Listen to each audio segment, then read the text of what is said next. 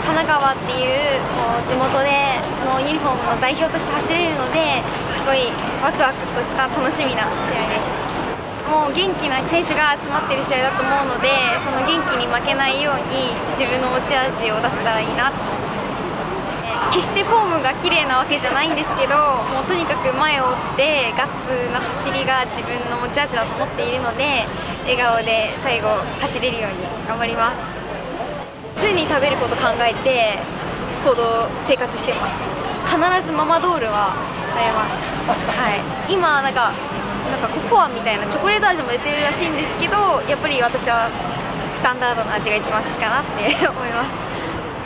神奈川県チームチーム一丸で頑張ります。11月11日東日本女子駅伝頑張ります。